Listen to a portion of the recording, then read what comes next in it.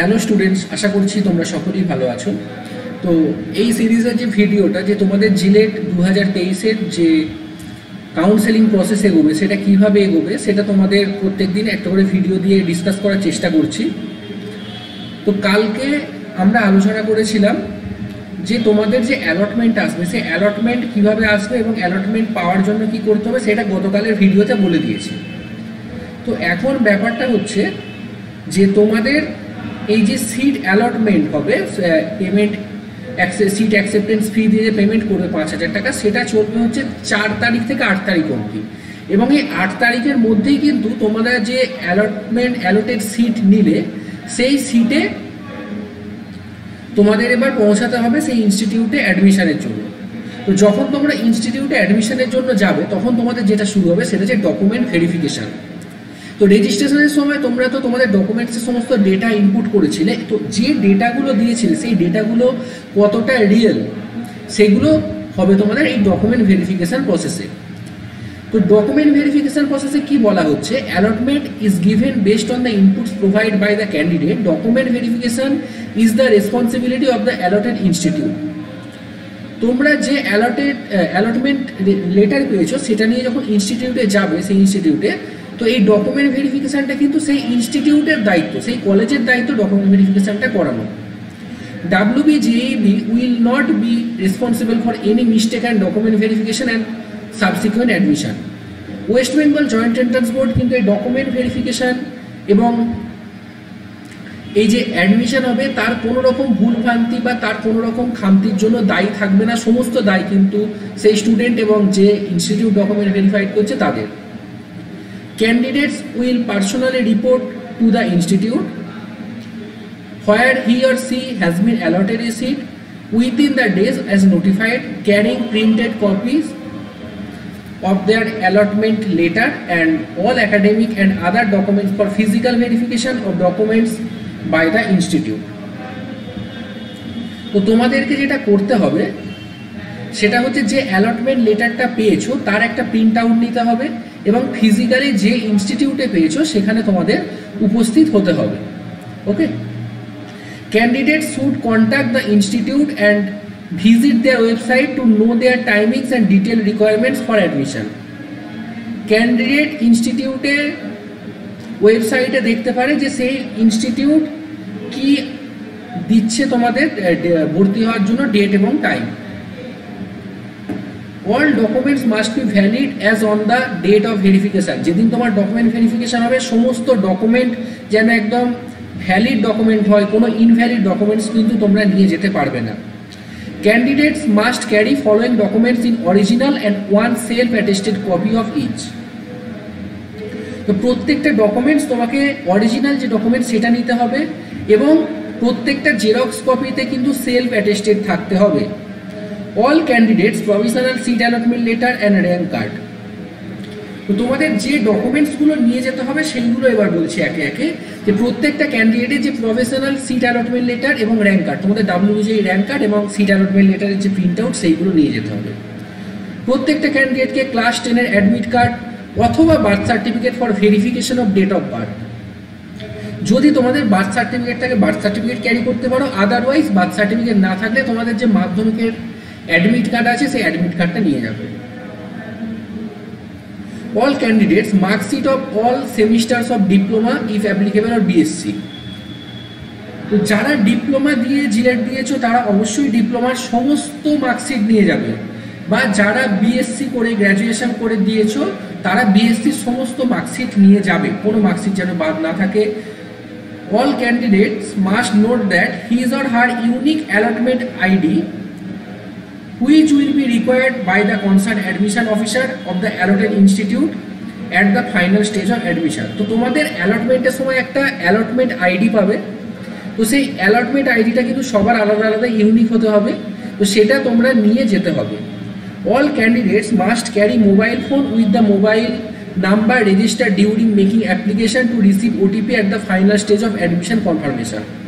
তো তোমরা যখন জিলেটের ফর্ম ফিল আপ করেছ বা সমস্ত প্রসিডিওর করেছ এবং রেজিস্ট্রেশনের সময় তোমরা যে মোবাইল নাম্বারটা দেবে, সেই মোবাইল নাম্বারটা কিন্তু তোমাদের নিয়ে যেতে হবে তোমাদের মোবাইলের সাথে এবং কারণ ওখানে ফাইনাল স্টেজ অফ অ্যাডমিশানে একটা ওটিপি আসবে কনফার্মেশনের জন্য, তো তার জন্য তোমার কিন্তু রেজিস্টার্ড মোবাইল নাম্বারটা ভীষণ দরকার। এখানে বলে রাখছি, যদিও এখানে সেটা বলা নেই, যদি এরকম হয়ে থাকে যে কারোর ফোনে অনেক দিন হলো রিচার্জ শেষ হয়ে গেছে ওটিপি আসবে না, এরকম কিন্তু করবে না, তোমরা রিচার্জ করে নিয়ে যাবে মোবাইল নাম্বারে না হলে কিন্তু হবে না। কারণ ওটিপি না এলে কিন্তু তোমার অনেক কাজ আটকে যাবে। West Bengal domicile candidate domicile certificate as per section six six point one and six point two of the information bulletin তোমাদের যে ইনফরমেশন বুলেটিন ছিল জিলেটের তো সেই বুলেটিন অনুযায়ী সিক্স সিক্স পয়েন্ট ওয়ান এবং সিক্স পয়েন্ট টুতে যে ডোমিসাইল সার্টিফিকেটের প্রোফর্মা দেওয়া ছিল, সেগুলো তোমাদের অবশ্যই ফিল আপ করে নিয়ে যেতে হবে। Reserve category candidates can produce their category certificate যাদের রিজার্ভ ক্যাটাগরি আছো, যারা জেনারেল তাদের ক্ষেত্রে এটা নয়, যারা কোনো রিজার্ভ আছে OBC A OBC B SC ST PWD বা ইডাব্লিউএস যাদের জেনারেল ইকোনমিক্যাল উইকার স্কিম এরকম যা ক্যাটাগরি আছে, যদি থাকে, তো তার রেসপেক্টিভ সার্টিফিকেট কিন্তু তোমাদের নিয়ে যেতে হবে ওকে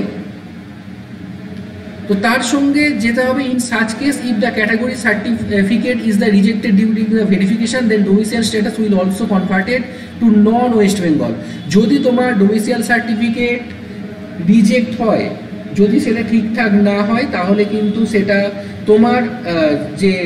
ক্যাটাগরিটা, সেটা তোমার নন ওয়েস্ট বেঙ্গল ক্যাটাগরিতে কিন্তু কনভার্ট হয়ে যাবে। SC ST OBC OBC B candidates respective category certificate as per the section information bulletin তো তোমাদের যে ফাইভ সেভেন এবং এইট যে ইনফরমেশন বুলেটিনে যে সেকশন আছে, তো সেই সেকশন অনুযায়ী SC ST OBC A OBC B certificate নিয়ে যেতে হবে ওকে এবার হচ্ছে যে ডকুমেন্ট ভেরিফিকেশানের পরে তোমাদের কি কি হতে পারে?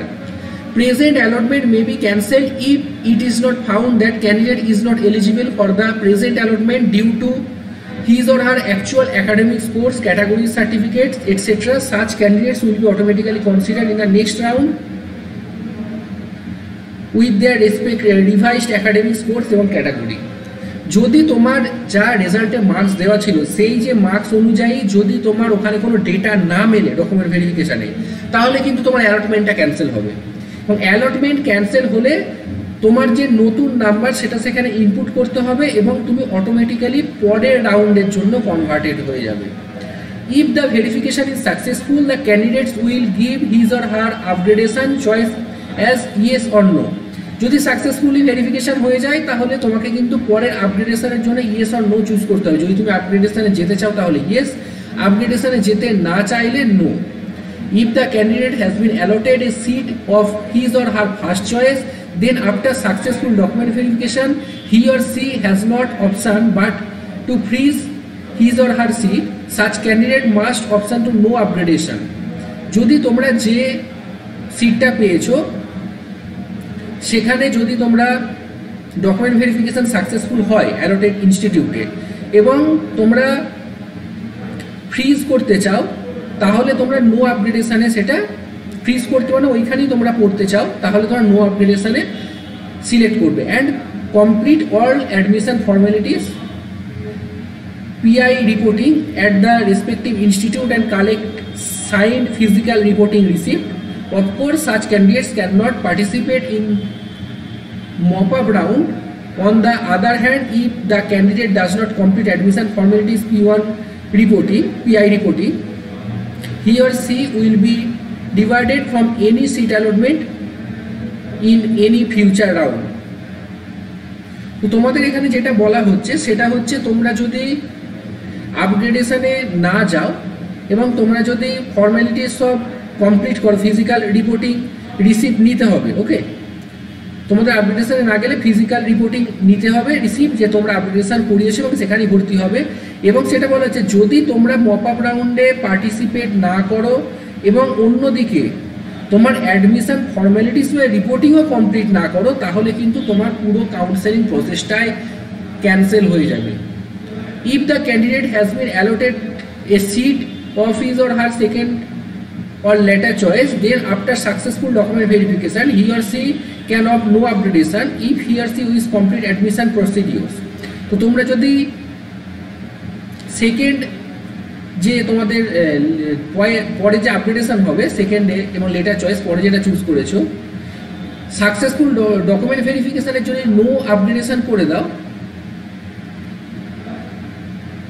তো তোমরা অ্যাডমিশন প্রসিডিওরটা কিন্তু সেখানে তোমাদের কমপ্লিট করতে হবে সেকেন্ড রাউন্ডে okay such candidates also can not participate the mop up round সেক্ষেত্রে তোমরা মপ আপ রাউন্ডে পার্টিসিপেট করতে পারবে না but if the candidate opts for no upgradation and then does not complete admission he or she will be diverted from the seat allotment in future round যদি তোমরা no আপগ্রেডেশনে যাও যে তোমরা আপগ্রেডেশনে যাওনি, অথচ তোমাদের যে সিটটা ফার্স্ট রাউন্ডে অ্যালট হলো, সেখানেও তুমি অ্যাডমিশন নিলে না, তাহলে কিন্তু পুরো কাউন্সেলিং প্রসেস থেকে তোমরা বাদ চলে যাবে if the candidate has been allotted a seat of his or her second or later choice then after successful document verification he or she can be also opt for ES upgradation and so not take admission the first round such candidates will be considered for possible upgradation in second round তো তোমরা যদি first রাউন্ডে ওখানে গিয়ে তোমাদের যদি মনে হয় যে আমরা তোমরা সেকেন্ড রাউন্ডে আপগ্রেডেশনে যাবে, তো সেক্ষেত্রে তোমাদের ওখানে পুরো যে ডকুমেন্ট তোমাদের যে অ্যাডমিশন প্রসেস সেটা ডকুমেন্ট ভেরিফিকেশনের পর আর কমপ্লিট করার দরকার। ডকুমেন্ট ভেরিফিকেশান তোমাদের করাতে হবে বাট আপগ্রেডেশনে গেলে তোমাদের ফার্স্ট রাউন্ডে অ্যালোটেড সিটে অ্যাডমিশন নেওয়ার দরকার নেই। ক্যান্ডিডেটসরা অলরেডি সেকেন্ড রাউন্ডে চলে যাবে ওকে তো সেটার জন্য কিন্তু অবশ্যই আপগ্রেডেশনে ইয়েস করতে হবে। If after successful document verification the candidate does not neither of for yes upgradation or no upgradation he or she will be considered not interested in admission, will be diverted from any seat allotment in any future round. যদি তোমরা document verification successful হলো, কিন্তু তোমরা আপগ্রেডেশনে ইয়েসও করলে না আপগ্রেডেশনে no করলে না, কিছুই করলে না, ওই অবস্থায় যদি ছেড়ে দাও, তাহলে কিন্তু ধরে নেওয়া হবে তুমি পুরো কাউন্সেলিং প্রসেস থেকে বেরিয়ে গেলে তাহলে তুমি কিন্তু ইন ফিউচার আর কোনো রকমের প্রসিডিওরে এখানে আর জয়েন করতে পারবে না। তো এটা গেল তোমাদের ডকুমেন্ট ভেরিফিকেশান এবং ডকুমেন্ট ভেরিফিকেশানের জন্য কি কি হতে পারে, কি কি না হতে পারে, তার সমস্ত উত্তর আশা করি তোমাদের কাছে ক্লিয়ার হয়েছে। ক্লিয়ার না হলে ভিডিওটা আরও একবার দেখে নাও। এরপর সেকেন্ড রাউন্ড আছে। তো তোমাদের সেকেন্ড রাউন্ডের রেজাল্ট বেরোবে হচ্ছে এগারোই সেপ্টেম্বর। তো সেটা অনেক দেরি আছে, তোমরা আগে এতদূর কমপ্লিট করো, তারপর সেকেন্ড রাউন্ডের ব্যাপার আমরা গাইডেন্স বা গাইড করব তোমাদের। আর যদি ভিডিওটা ভালো লেগে থাকে, অবশ্যই ভিডিওটা লাইক করো, বন্ধুদের মধ্যে শেয়ার করো, আর আমাদের ইজি টু লার্নিং চ্যানেলে নতুন হয়ে থাকলে চ্যানেলটা অবশ্যই সাবস্ক্রাইব করে দিও। তো চলো এখানেই শেষ করছি, আবার দেখা হবে নতুন কোনো ভিডিওতে নতুন কিছু ইনফরমেশন নিয়ে।